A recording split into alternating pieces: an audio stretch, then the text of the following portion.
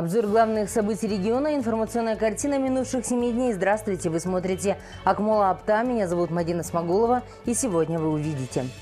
Как развивается промышленность в условиях глобальных рисков? Коммунальная система масштабно готовится к зиме. Согом съесть, не откормить. Развитие промышленности в условиях глобальных рисков. Ни для кого не секрет, что мировая экономика развивается в сложных условиях и по-прежнему сохраняются глобальные риски, способные замедлить экономическую активность и вызвать негативные тенденции в мировой торговле.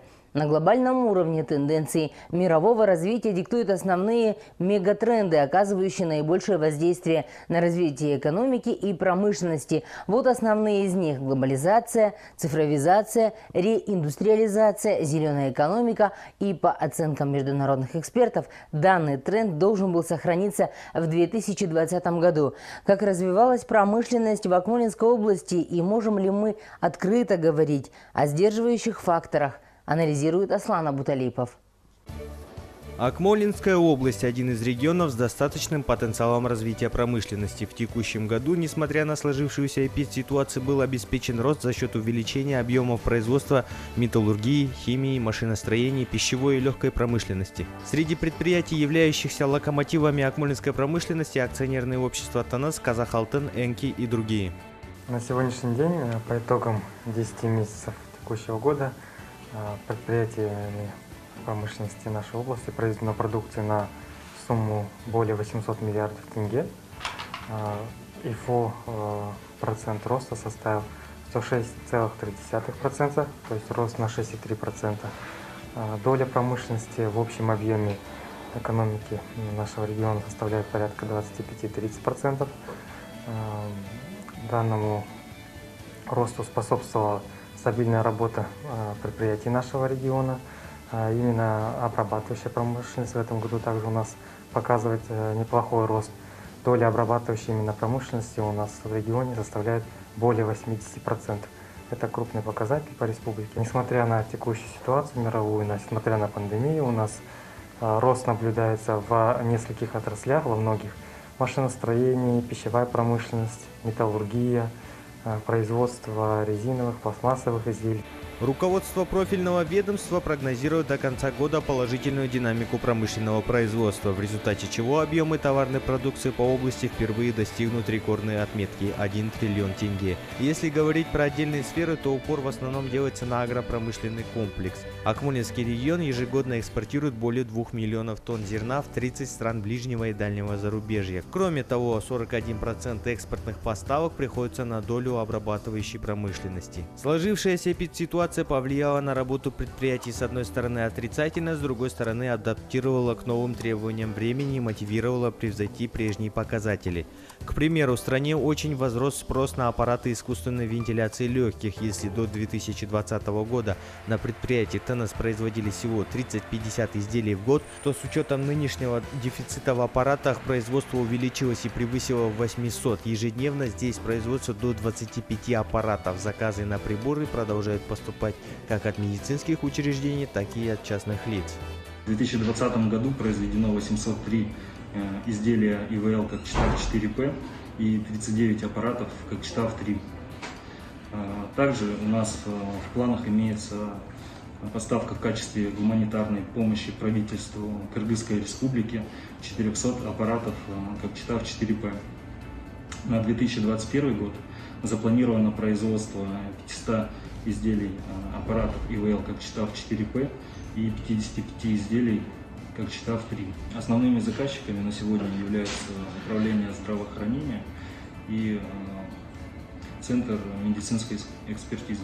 Конечно же, были моменты по уменьшению производственных планов, по недостижению, по отдельным предприятиям, сокращение было объемов производств. Но в целом а, на негативное влияние значительного на э, промышленное производство региона это не сказалось, так как у нас предприятия у нас работали весь этот период, как простоев не было. В целом у нас э, был рост и в легкой промышленности почти в два раза. Здесь, э, как можно догадаться, способствовала корректива текущей ситуации. То есть у нас налажено было производство масок, пошив у нас, как и мелких швей, швейных ателье, мелких средних компаниях, так и в промышленных масштабах. У нас на акционерном обществе ТНС также налажен пошив масок был. Поэтому там в сутки производилось у нас 25 э, тысяч масок. В сутки доходила проектная мощность. Поэтому это поспособствовало росту легкой промышленности. Также у нас защитные маски, тоже было производство.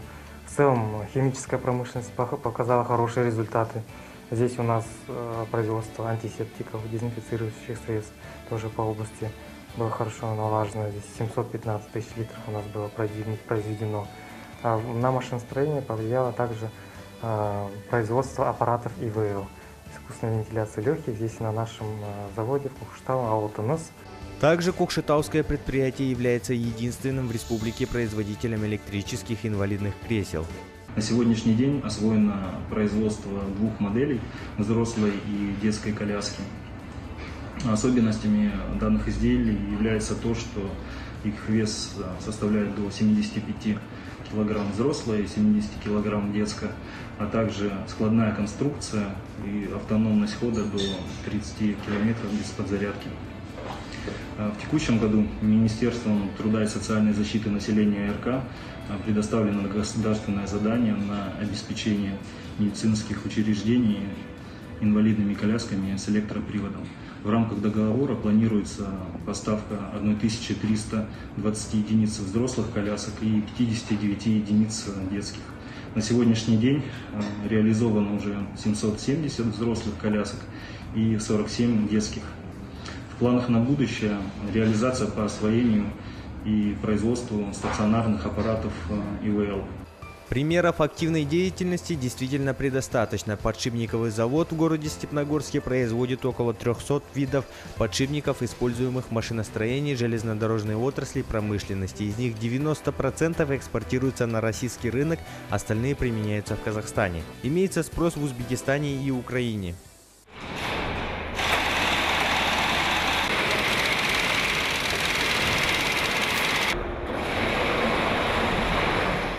Вообще, в сфере машиностроения области четыре предприятия занимают ведущие позиции по производству в целом по стране.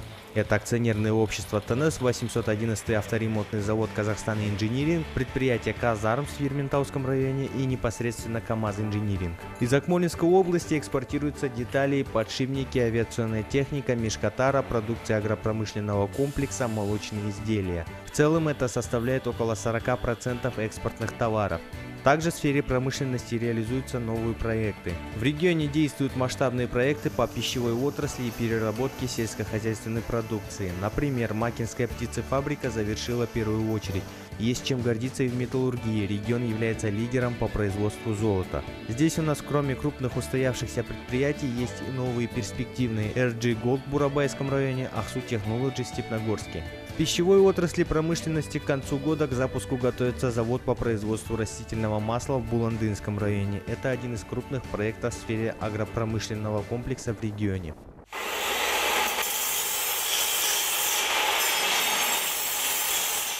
Таким образом, в регионе обеспечен стабильный рост промышленного производства, несмотря на сложившуюся эпидситуацию. Сегодня для развития слабых производств привлекаются крупные инвестиции и осуществляется поддержка в рамках государственных программ. Аслан Абуталипов, Азамат Бекмагамбетов, Жамбул Балтаев специально для Ахмулапта. Продолжаем Акмула Апта. В сегодняшнем выпуске мы поговорим о пробации. У службы пробации следующие задачи. Оказание социально-правовой помощи лицам, состоящим на учете, исполнение определенных законом видов наказаний, не связанных с лишением свободы, осуществление контроля за осужденным, отбывающим наказание в виде ограничения свободы, осужденным условно, освобожденным условно-досрочно от отбывания наказания в виде лишения свободы, участие в подготовке к освобождению осужденного, отбывающего отбывающего наказание в учреждении уголовно-исполнительной системы по факту и в лицах, рассказывает Абай Кимбек. 30 декабря 2016 года был принят закон Республики Казахстан о пробации. Закон опирается на многолетний опыт работы органов уголовно-исполнительной системы. В нем также учтен опыт других стран в данной области, рекомендации международных и национальных неправительственных правозащитных организаций. На сегодняшний день в уголовно-исполнительной системе Республики Казахстан предусмотрено 7 видов наказания для осужденных без изоляции от общества. Такая мера уголовной ответственности позволяет смягчить наказание за мелкие правонарушения. Большой опыт в пробации имеют такие страны, как Англия, Турция, Хорватия, Болгария и Азербайджан. В Англии считают, что пробация возникла именно тогда, когда выросли количество преступлений, совершаемых, под алкогольным опьянением. Именно тогда они начали использовать общественные работы для того, чтобы нарушитель осознал свою ответственность. В Англии используют широкий спектр пробационных программ в зависимости от тяжести преступлений. Вот еще пара примеров. Следует отметить, что залогом эффективности английской службы пробации является не только индивидуализированная работа с субъектами пробации, но и строгая система контроля над ними. В Норвегии традиционно сотрудники службы пробации являются квалифицированными социальными работниками. Не менее важна экономическая составляющая, поскольку более широкое применение наказаний, не связанных с лишением свободы, повлечет за собой сокращение тюремного населения и, соответственно, уменьшение стоимости их содержания. В ведение Департамента уголовно-исполнительной системы Акмолинской области входит 20 служб пробации, 20 районных служб пробации. На сегодняшний день по учету служб пробации прошли осужденные, которые по решению суда отбывают наказание 176 осужденных. Из них имеются осужденные, которые злостно уклоняются от общественной работы. Это 13 человек. На сегодняшний день по всем 13 осужденным материалы направлены в суд, и судом принято решение – о замене общественных работ на арест. Данный вид наказания не требует профессиональной квалификации. В основном обязательные работы связаны с благоустройством территорий, уборкой скверов и парков. Летом озеленение, покраска бордюров, зимой уборка снега. Все же, имея возможность исполнить судебное решение без лишения свободы, многие нарушители закона злостно пренебрегают правилами общественных работ. Таким образом, после неоднократных пропусков установленных часов, они уже отбывают свое наказание в следственных изоляторах.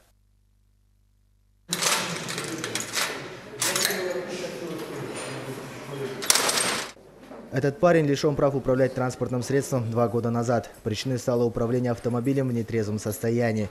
После повторного нарушения он был привлечен решением суда к 100 часам общественных работ. Общественные работы я вначале ходил, отрабатывал ну, где-то около недели. Как-то друзья позвали, посидим.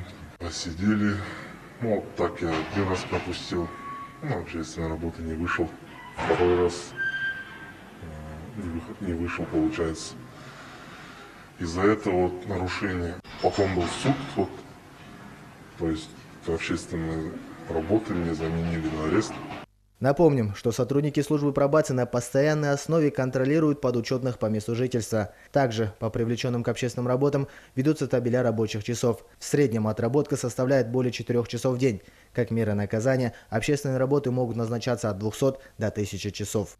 Службы пробации на постоянной основе в целях профилактической работы по недопущению повторных преступлений данными лицами проводятся профилактические мероприятия.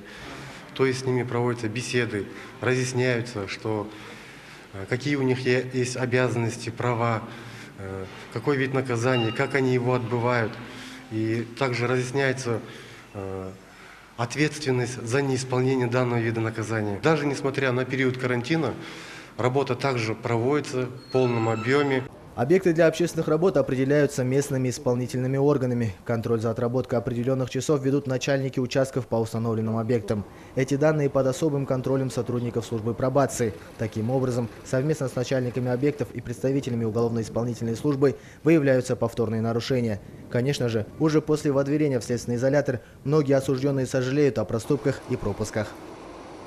Более ответственные отнесся, конечно, да потому что проще там как отработать вот эти 4 часа в день.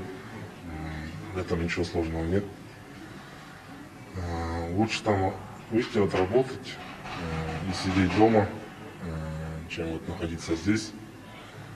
Тем, кто вот тоже ребята вместе, которые работали там, тоже отрабатывали общественную работу. Им бы я сказал, чтобы не нарушали вот ведь не повторяли моих ошибок, что... Привлеченные к общественным работам нарушители на период отбывания наказания не имеют права трудиться на постоянной работе. Основная категория нарушителей – это лица, которые садятся за руль в нетрезвом виде и под воздействием наркотических средств. Общественные работы позволяют достичь сразу две цели. Во-первых, морально-воспитательные, путем привлечения к полезному труду, а во-вторых, смягчить наказание за уголовное правонарушение, не представляющее большой общественной опасности. Проблема пробации типична во всех странах. Это перегруженность сотрудников. В основном нарушители полагают, что они остались на свободе без контроля и могут вернуться к своим преступлениям. Здесь, конечно же, очень важна профилактическая работа пробационных служб. Абай Какимбек, Азамат Бекмагамбетов. Специально для Акмолапта. Зимы у нас затяжные и суровые. Грипп и простуда – это еще малая составляющая последствий риска континентального климата. В первую очередь холодное время года наносит удар по коммунальному хозяйству и испытывает на прочность даже силовые структуры. Гололедица и сугробы – это проблема внутри населенных пунктов. А за городом заторы, ограниченная видимость и вынужденная остановка путников во временных пунктах обогрева. Завершается ноябрь. Снежные дни еще впереди. Какой объем работы предстоит сказать однозначно сложно, но готовность максимальная. В разных странах действуют разные законодательные нормы касательно уборки снега и наледи в зимний период. Где-то широко применяют химические реагенты, где-то ограничиваются песком, солью, крошкой каменной. Техника и оборудование, используемые для зимней уборки, тоже используют разную. Сегодня мы расскажем, как готовиться к зиме акмолинцы.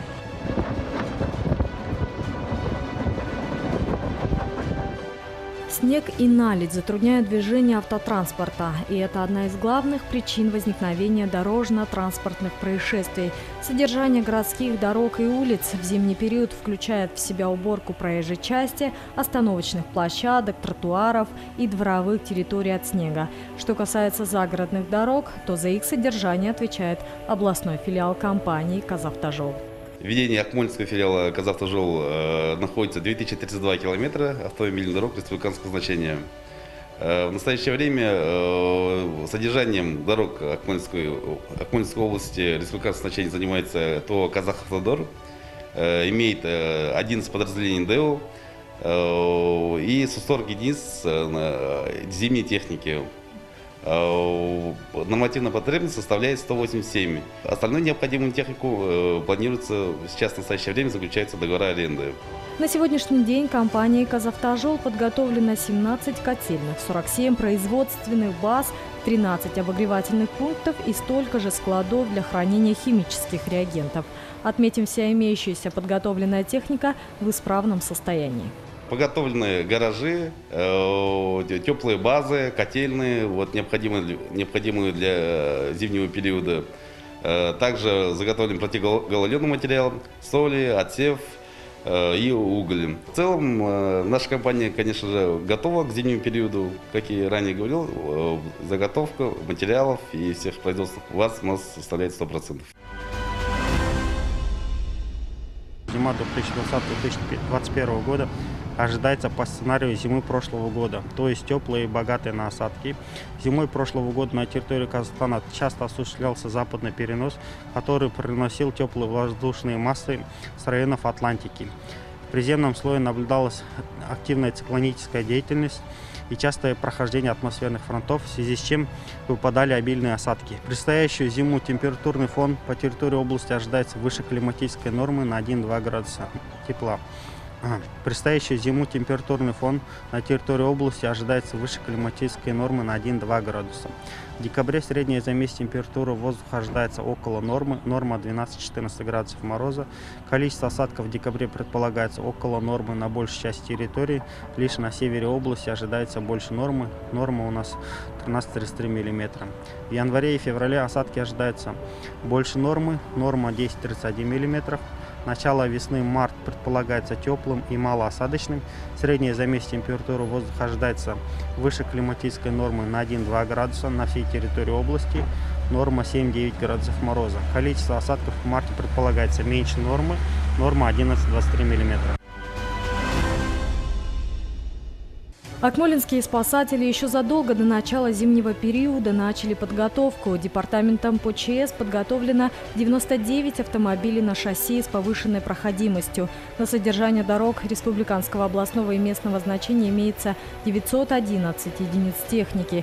На магистральной железнодорожной сети подготовлено 37 единиц снегоуборочной техники. На сегодняшний день департаментом по ЧС совместно с владельцами автодорог взято на учет 390 снегозаносимых участков, это с учетом прошлых лет, э, на которых возможны э, чрезвычайные ситуации в условиях зимнего периода при неблагоприятных условиях. Э, местными исполнительными органами вблизи данных участков подготовлено 257 пунктов обогрева и 179 пунктов питания. Стоит отметить, управлением предпринимательства и промышленности заключено 68 меморандумов с частными предпринимателями о поставке продуктов питания в пункты обогрева для оказания врачебной помощи в случаях эвакуации пассажиров медицинскими учреждениями подготовлено 500 койко-мест. Для недопущения распространения коронавирусной инфекции в пунктах обогрева и питания Департаментом контроля качества товаров и услуг области принято постановление по данному вопросу, в соответствии с которым местными исполнительными органами сейчас проводится работа по приведению этих пунктов обогрева и питания в соответствии с требованиями данного постановления. Товарищество Кокшета Залык занимается уборкой улиц города, вывозом мусора. Около 75% территории областного центра ложится на плечи компании. Это и ручная работа, механизированная, а также вывоз твердых бытовых отходов. На балансе ТО Кокшет Тазалык у нас 105 единиц техники, в общем 105 единиц техники. Из них есть это специализированная техника, это на базе МТЗ, гридера, снегопогрузчики, фронтальные погрузчики. Э, далее, сейчас вот зимний период, вывозка снега, это автосамосвалы в количестве 14 единиц, на базе КАМАЗ, на базе ЗИЛ.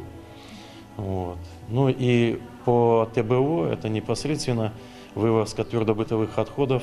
Э, мы производим э, автомашинами мусоровозы.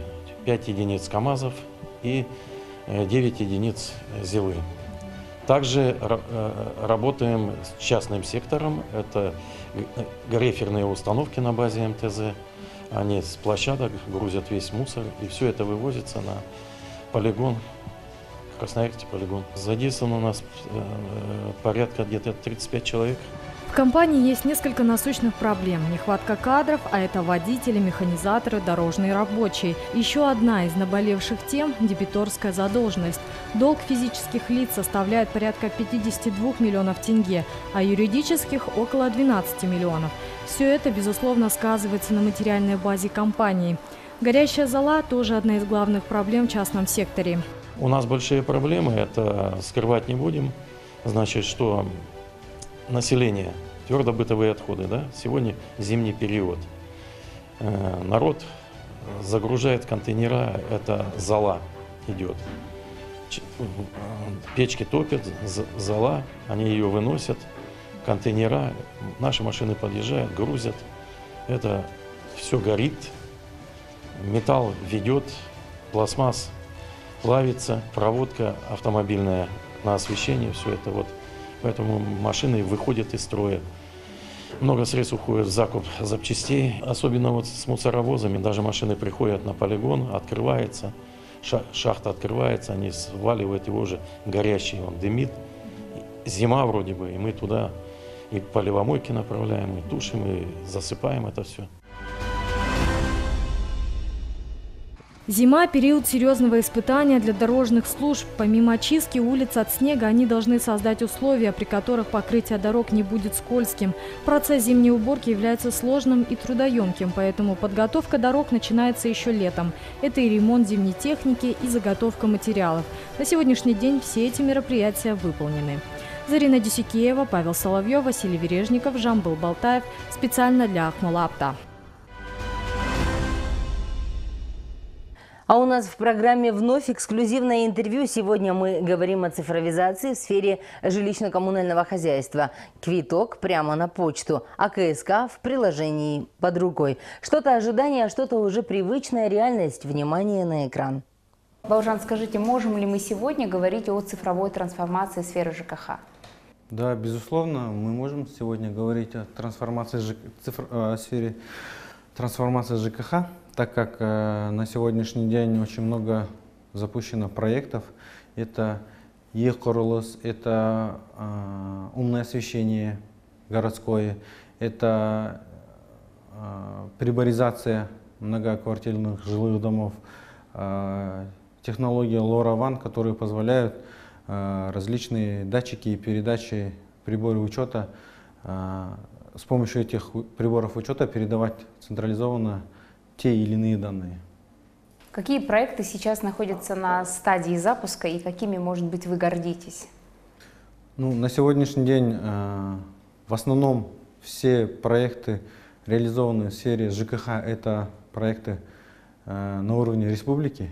Э, в нашем регионе, в частности в Акмолинской области, на следующий год мы планируем э, проект умного освещения города.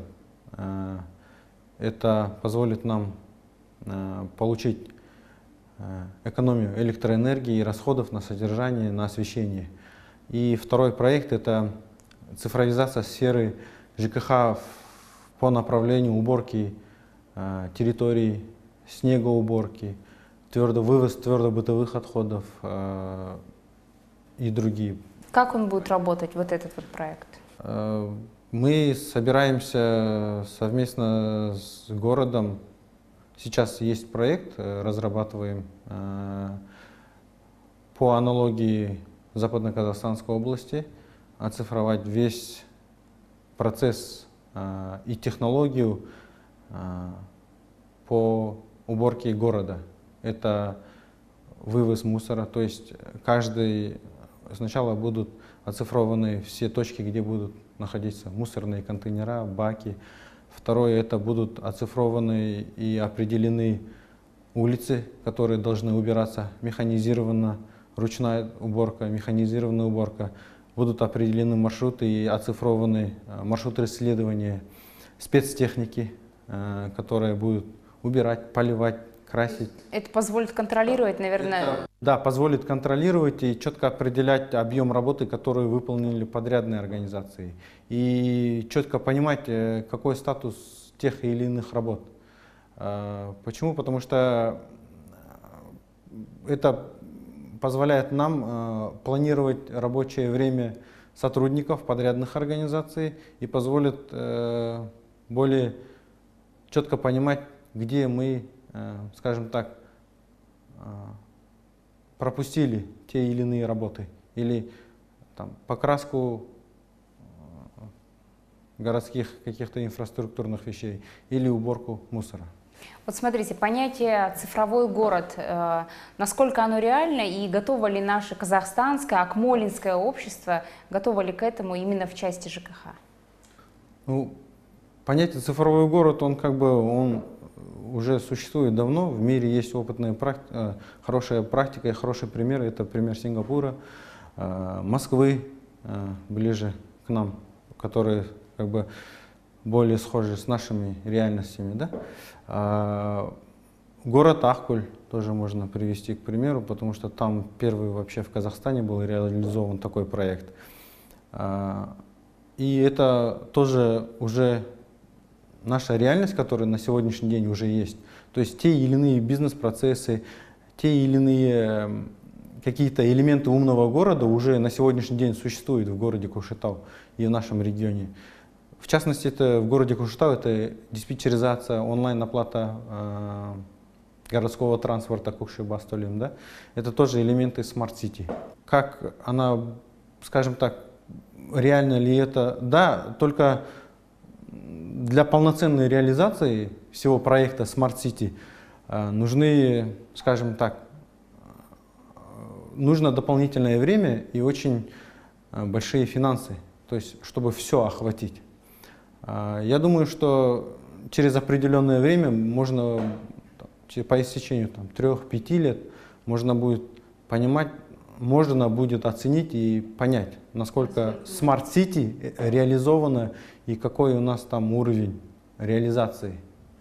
А вот этот вот умный учет, это рентабельно и именно вот для жителей самих, для обычных людей это рентабельно? Для, обыч... для обычных людей это рентабельно, а, которое, ну, то есть умный учет позволяет платить только по факту. Сейчас, э, к сожалению, есть такие, скажем, проблемы, когда мы очень много теряем на транспорте, да? Это тепло, это электроэнергия, э, потом э, очень много изношенности сетей, это линии электропередач, тепловых сетей. И все те потери, которые происходят при транспорте, на сегодняшний день это все как бы ложится на плечи наших жителей.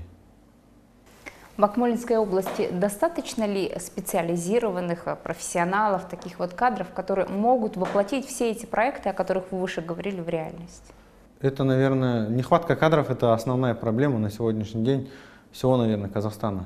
Почему? Потому что сейчас, по данным э, Министерства цифрового развития, э, в секторе цифровизации вообще по всему Казахстану в госучреждениях, которые занимаются стратегией цифровизации, в целом работают свыше 180 человек. Это вот те управления, которые занимаются стратегией цифровизации. Это вот, то есть в рамках, в разрезе управления цифровизацией, да, э, непосредственно как госорганы.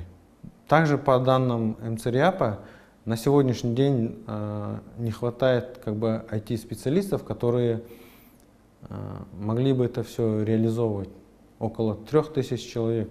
Как бы есть потребность по разным направлениям. И МЦРИАП э, на сегодняшний день проводит очень большую работу именно по качеству и по обучению кадров, специалистов, которые будут в дальнейшем заниматься именно IT-сектором, IT-направлением и цифровизацией в целом в Казахстане. Баужан, спасибо вам большое за интервью. Я желаю вам удачи. И пусть э, действительно в Акмолинской области, в Казахстане будет команда этих инновационных умов, которая создаст цифровые проекты удобные, нужные, рентабельные для наших граждан. Хорошо, спасибо. 22 ноября во всем мире отмечается День сыновей. Он пока еще не так популярен, как День матери, но все же в этот день принято поздравлять сыновей служащих в армии или отмечать в кругу семьи. Если примерять на ментальность местного населения, то в Казахстане немало многодетных семей, где воспитывают только мальчиков. Очень много споров, с кем из родителей. У мальчика сильнее связь. Если мать, то речь идет о духовности, ментальности, восприятии. Отец – воспитание Не утрачены ли в современном обществе понятия об этих незримых нитях в нашем следующем материале? Многие знают о существовании такого праздника, как День матери, который ежегодно отмечается в разных странах мира, и он достаточно популярен и растиражирован в социальных сетях. қыркүйектің әр үшінші жексенбісі ана күні деп белгіленді Отбасының негізгі тірегі ата-ана десек, бүгін сол асыл аналарымыздың күні. Соңғы 8 жыл көлемінде елімізде аналар күні аталып өтіледі. День отца, который широко отмечается более чем в 80 странах мира, также набирает популярность в Казахстане. А что знает кукшетауцы об этой дате? Нет, не знаю. Здравствуйте, нет, не знала. У меня нет сына. 22 э, ноября День сыновей? Нет, не знала, у меня дочь. Нет, не знаю такой праздник. Нет, не знала. Теперь буду знать. Существует множество версий того, откуда берет свои корни данный праздник. В Японии, например, перед Второй мировой войной в начале мая праздновали День сыновей. Там с 1948 года он официально провозглашен Днем защиты детей. И хотя День сыновей, который отмечается 22 ноября, не получил официального статуса, дата уже проникла в культуру многих стран. Семейные праздники призваны формировать детей как личность, сближать родственников, а главное – укреплять связи между поколениями. Одна из таких семей – династия Митаевых. Азамат Митаев проработал в полиции 25 лет. Единственная причина, по которой он выбрал эту профессию – желание пойти по стопам отца. Мой отец Митаев Сайлубай Митаевич э, в 1973 году устроился в органы внутренних дел, это в то советское время. Проработал до начальника районного отдела полиции Ленинградского района. И как бы на примере его, на примере моего отца, я вот старший мой брат Алмат Митаев, то есть он поступил в школу милиции, в 91 году. И отучился 4 года, получил высшее образование, вышел на, на работу в Лени- Ленинский район. Там работал оперуполномоченным. Вот на примере того, что, видев, вот, как отец работает, тоже, ну, я думаю, это как династия, плане того, что это в других семьях то же самое, где вот примерно отец врач, также и дети идут по его стопам. Азамат Митаев работал участковым инспектором, следователем, заместителем начальника местной полиции. Сейчас он начальник отдела в управлении полиции города Кукшетау. Не жалею, что работаю в этой системе уже на протяжении 25 лет. Поэтому что еще могу сказать? Семья у нас полностью, ну, у нас в семье 5 детей вообще. Старший брат, вот сестра, я, а сестренка, она уже пошла в медицину. Ну, братишка младший уже пошел уже по другим стопам. Мой отец, Витаев Сайловай, это он тогда первым заместителем был в Рузаевском районе. Старший брат Алмат, начальник Буандинского районного отдела полиции. Это я. Вот это все вот эти вот альбомы, вот эти фотографии, все вот наша мама хранит вот воспоминания балаларым енді папаларының жолын қуып папасы өзі қайтқанда бір жолдасының түсіне кіріпті Мои дети пошли по стопам отца, а когда их отец умер, его другу приснился сон, в котором он сказал «Я жив». Наверное, его душа чувствует, что его дети продолжают его путь. Сегодня Азамат Митаев воспитывает двоих сыновей и дочь. Работа в полиции очень напряженная, сложная и вполне логично, что много времени проводить с семьей не получается. На работе я вот являюсь требовательным, то есть дисциплина. Ну и дома по- с детей требую порядок. В первую очередь, чтобы была дисциплина у детей. То есть, если ты пообещал что-то, ты должен сделать. И даже такие небольшие праздники, как сегодня, это повод провести время с родными. Особенно это актуально для семей, где воспитывают только сыновей міне баламның уақыты да болмайды бүгін енді міне қуанып отырмыз бірге отырғанымызға басымыз қосылып У моего сына много работы, нет времени на общение с родственниками, но сегодня мы собрались вместе и очень рады этой встрече. Всем матерям, которые растят сыновей, я хочу пожелать одного. Пусть ваши дети оправдают надежды и всегда будут опорой вам, оказывая свою заботу. И несколько слов о заботе. По данным ООН, в 2019 году только 6,6% отцов в Казахстане уделяют внимание воспитанию детей. ер баланың тәрбиесінде әкенің рөлі өте і, үлкен ер бала ә, әкесі, әкесінен қарап үлгі алады дейміз Роль отца в воспитании мальчика очень важна. Говорят, что сыновья учатся у своих отцов и отражают их поведение. В первую очередь, каждый мужчина не должен забыть, что он пример. Мы никогда не сможем воспитать ребенка только словами. Отношения в быту, взаимоотношения с женой, ответственность за свою работу, линия поведения с родственниками, родителями – все это воспитание. Разумеется, благополучие семьи и упорядоченное воспитание детей зависит от мудрости и трудолюбия главы семьи. И это является основой семьи. Поэтому День сыновей нужно широко пропагандировать, как и другие семейные праздники, считает психолог. Айгерим Сулейменова, Гульмайдан Хатай, Дархан Мужибаев, Акмала Апта.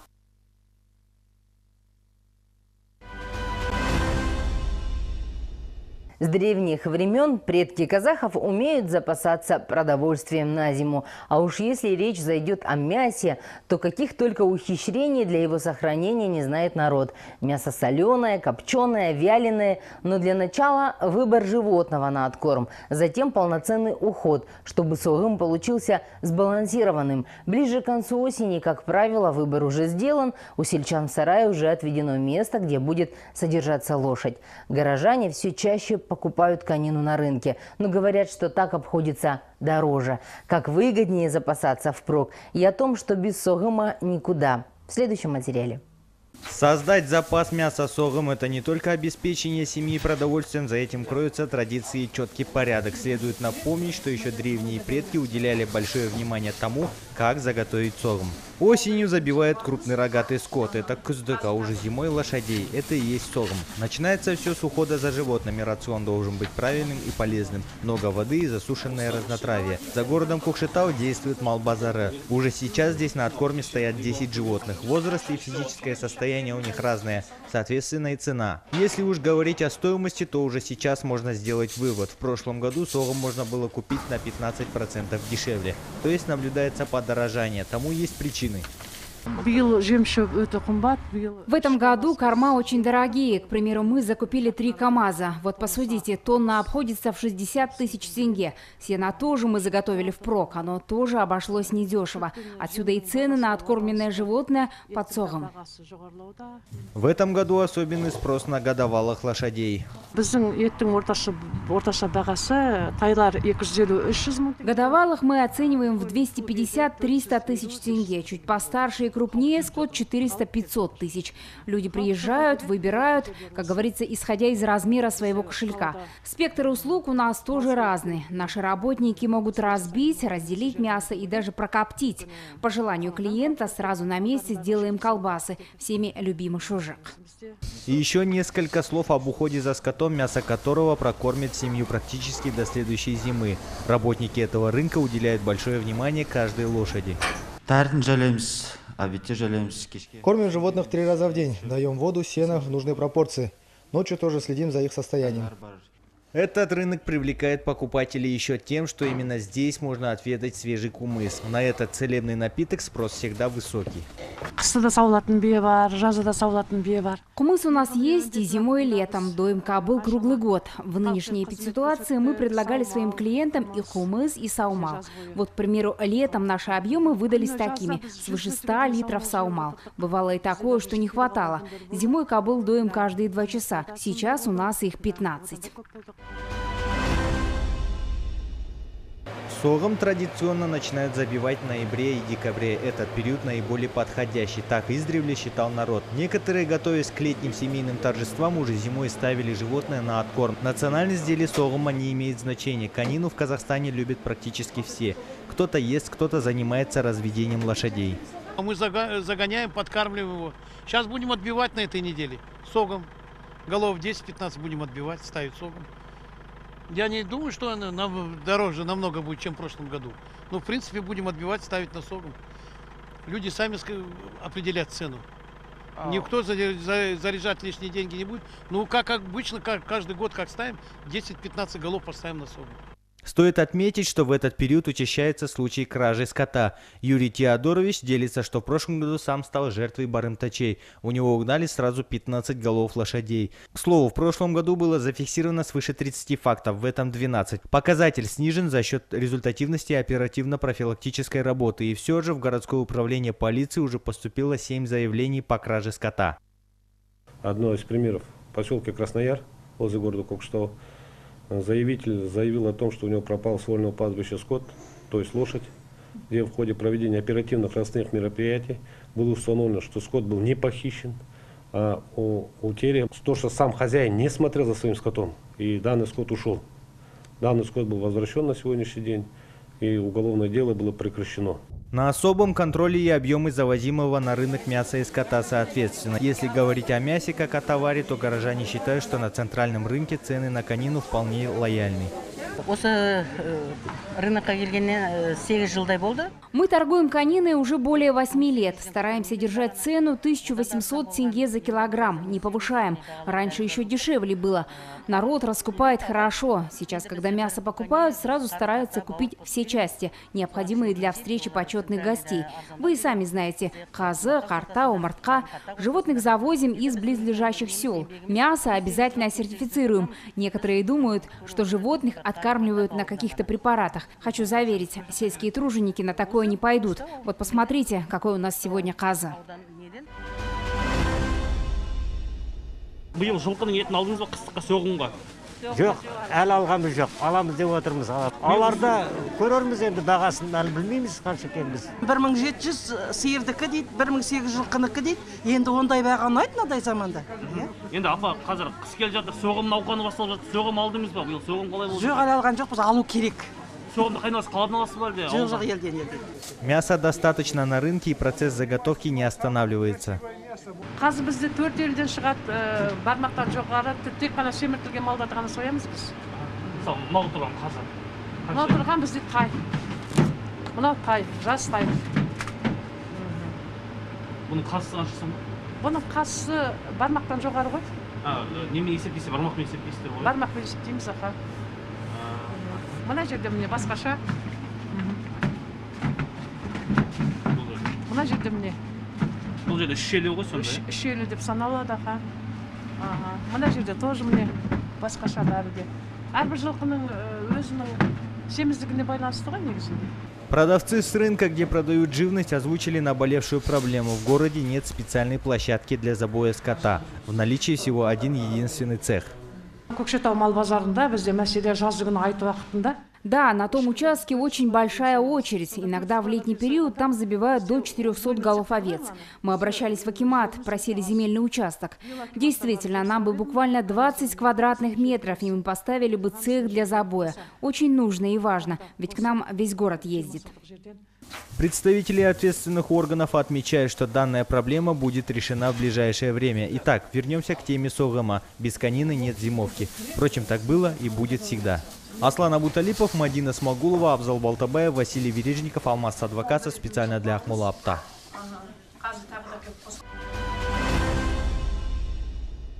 Такова информационная картина минувших семи дней. Мы прощаемся с вами ровно на неделю, чтобы вновь в эфире говорить о важном достоверно. Аман Саубонгсдер.